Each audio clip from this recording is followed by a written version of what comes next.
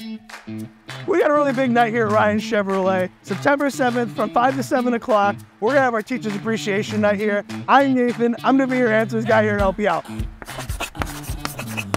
The most frequent question we get is, where should I park? Well, if you're coming in on Broadway here, the best place to pull in is the south lot. There'll be employees here to assist you to help you out. It should be pretty easy. So if you're coming in on 18th Avenue here, just pull into this driveway here, not this driveway, this driveway right here. Go straight down this alleyway here, and there'll be someone at the end to assist you on where to park. The more the merrier. There's gonna be enough food, drinks, games, and of course, the dunk tank. Wait, is Principal Lee gonna be there? I'd love to dunk him. Who doesn't like good barbecue? And we're gonna have some of my Minot's best, Tim Dandies. And did I mention that it's free for teachers and their families?